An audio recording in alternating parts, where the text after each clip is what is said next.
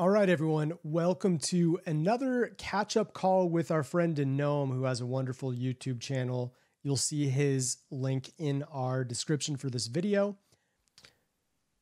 All right, so Denome and I were talking, and he mentions that one of the key metrics he uses is the 365 day and the three year dormant circulation metric on Bitcoin. And specifically, what he looks for to signify a bull market would be a big spike in, in the yellow bar here, which is often synonymous with a bottom.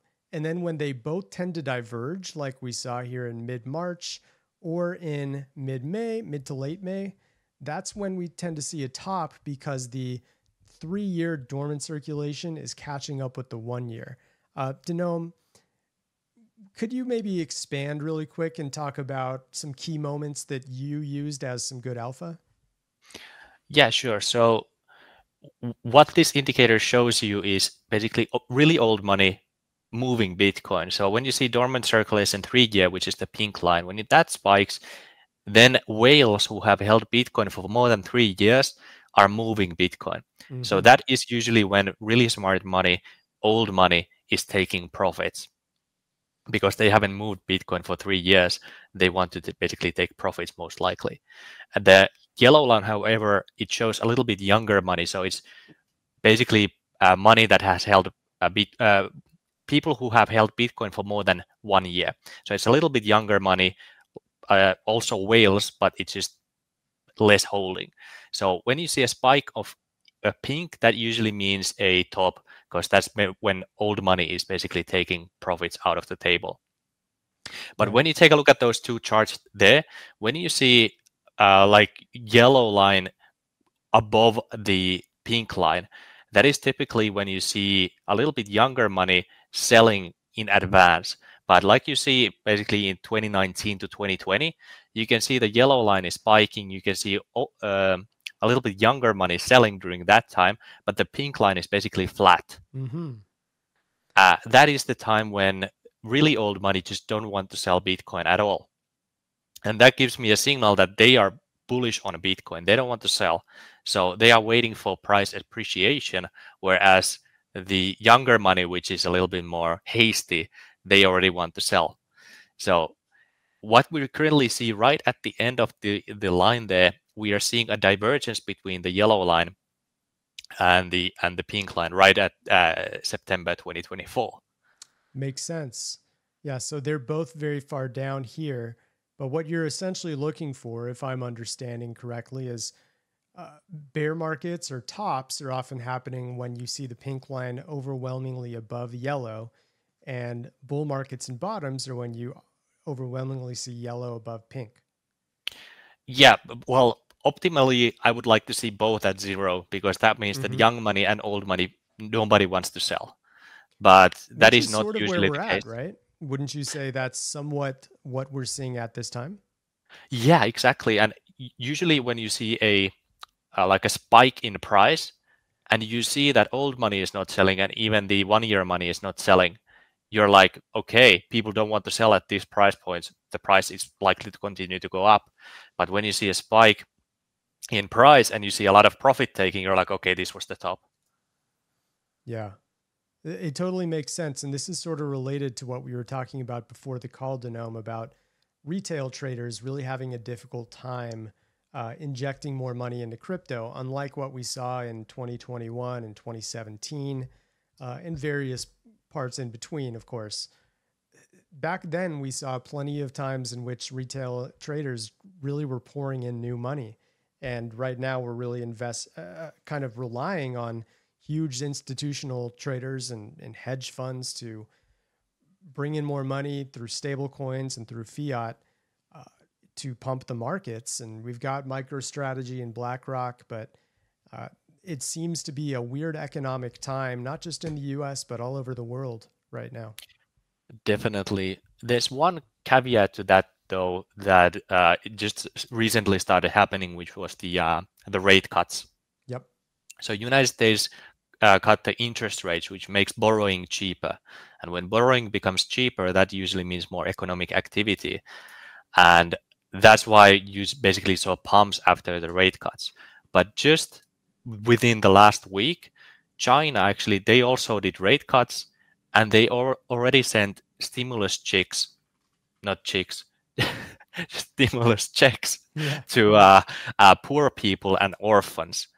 So that could be a, a, a driver hopefully we start seeing basically uh, money printers go back online. We're still not seeing a lot of money printers in the West, but we are starting to see money printers go online in the East.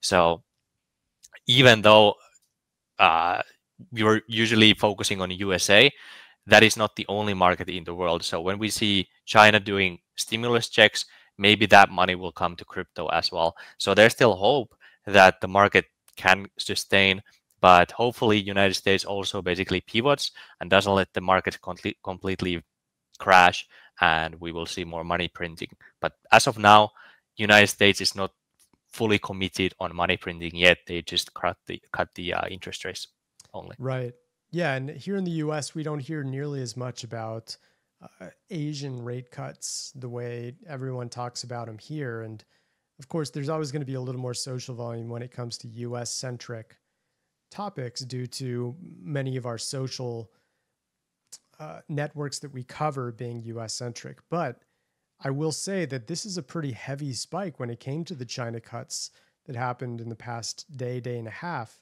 And I think that could end up being a very interesting marker for where markets end up going next. Because if you're indeed right, we might start to see a little bit of a, a trickled rise up. Maybe not immediately, but we'll see. The last time we heard about China cuts, it was, I presume, a mm-hmm. rumor about it, and it ended ended up being a top. Um, but I don't think that that was really related to what this retrace was about. I think it was just kind of the natural cycle during the summer. Um, but I, I, do think it's a good point, and I, I hadn't previously had that on my radar. The way China rate cuts can potentially stimulate uh, what's arguably the second biggest nation when it comes to contributing to the crypto markets. Yeah, and I only heard about the stimulus checks also this morning. So I haven't verified it or anything. I just saw somebody make a video about the stimulus checks in uh, China. Mm-hmm. So that's why I brought it up here. So I don't know any details about it, but that's something I'm going to uh, look after this video as well. But that could be the uh, the catalyst that actually propels us forward. And then the United States will respond by doing their own stimulus checks. And hopefully we will see retail money come back to the market as well from that. But as of now, as of making this, it is still true that the retail investors don't have a lot of capital. Yeah, it, it does seem that way, and statistics are backing that up. And, uh, you know, I also, when it comes to political topics, I, I always try to check in on the Harris versus Trump social mention frequency going on and how that might be affecting crypto. Uh, hmm. It's defaulting to Trump USD. There we go. So when typically you've probably seen the same, the crypto community seems to lean a bit more Trump, uh, regardless of what our own politics are. That's something that both Trump and Biden and uh, excuse me, Trump and Harris supporters seem to agree about is that crypto seems to have more of a bullish bias toward Trump right now. And uh, it's interesting going back to his assassination attempt that happened around here. Um, it ended up sparking quite a rally.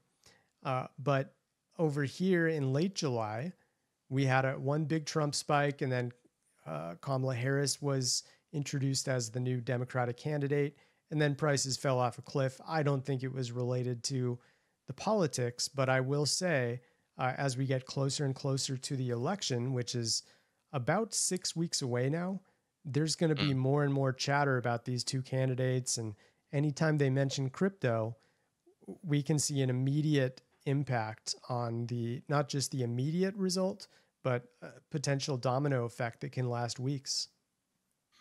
Yeah, yeah. This is something I, I constantly look at as well. And when uh, they had the debate together. I thought that Trump, Trump is going to win the debate and the markets will go bullish afterwards. But my analysis is that he actually lost the debate uh, in the eyes of undecided voters.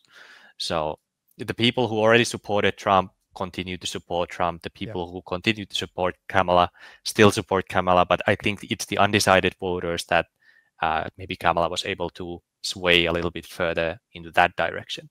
Yeah, it's so, funny because the parties are so extreme uh, in terms of uh, how how far apart they are, uh, and having kind of a visceral hate hatred toward one another, and that goes along with the Democratic voters and the Republican voters really having a strong dislike compared to previous years uh, toward one another. I think the undecided voters are a, a, pretty silent minority these days that, yes, they do exist, but it's almost impossible to tell who's really winning these elect uh, uh, debates um, because each news source that represents each party comes out with a declared victory right away, no matter how it went. And mm the viral moments are usually uh, more mic drop moments than anything that that really are um, s- impactful to you know voter decisions and stuff like that. So it's interesting to see, but I, I, I do think there was a slight consensus from the neutral media out there that that Harris edged him out in the first debate. But of course, we've got two more upcoming. So once we see that, suddenly crypto's entire trajectory can change uh, because of the impact that the U.S. has. Definitely, yeah. uh, it's it's an interesting thing, and and I'm going to follow up. And usually, when you look at elections, typically going into the election or right after the election, we will have the pump. Maybe that just coincides with the Bitcoin halving hap- hap- happening in the uh, election years, but basically, the October is the best month in crypto, and right. November is the best month in crypto. And in election year, it didn't matter that Biden won in 2020, Bitcoin price still shot to the upside anyway. So maybe this time it will be the same, or maybe it's different. I don't know. It's hard to understand what is the politics of Kamala, whereas we know that Trump will basically stimulate the markets and drive the energy prices down and that is obviously bullish, but with Kamala, it's a little bit more uncertain what mm-hmm. she's going to do right after she gets elected. Yeah, there's a lot up in the air for sure. Uh, before we depart, Denome, what's one more metric that you're keeping an eye on, maybe for the short and for the long term? We talked about the the dormant circulation, but is there anything for like swing traders that you might recommend based on your exploration of the platform? Um, I I'd like to uh, keep an eye out on the um, on the amount of stablecoins uh, that have been minted. The major ones like USDT, USDC. Sure. So the total market cap of those two stablecoins. So you're just looking at total market cap. Let me see if I can add those really quick just to take a quick peek at where we're at. So obviously, unlike most coins, the market cap of stable coins are not just going to fluctuate along with their price, which is something that's very useful about them.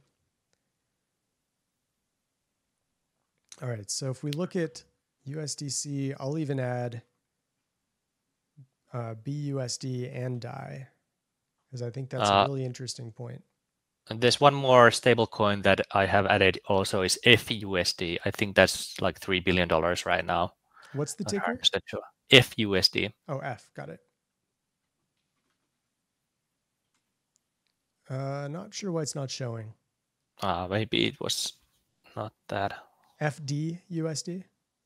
First digit? Uh, yeah, I think it's that one. Got it. Okay. So what we're seeing right now is a continued climb with Tether, which is constantly minting more. I'll add. And, yeah, go ahead. And by the way, I use the combined metrics and I just plus all of these together to create one chart. Well, overall, I think this is a really awesome alternative way to understand what's going on, not so much in Bitcoin or Ethereum or the more common cryptocurrencies, but specifically looking at the market cap growth of stablecoins, specifically with the mintings going on uh, more coins coming in for available dry powder for traders to use. This can be a very handy tool to get an idea of how the bull and bear markets are fluctuating. So I highly, highly recommend people check this out and look into everything. Uh, on behalf of Denome and uh, the rest of the team at Santiment, thanks so much for watching. And we will be following up soon with another great market recap and kind of deep dive on many of these metrics that many of you may or may not have already been familiar with. But thanks for watching, and we will talk to you next time.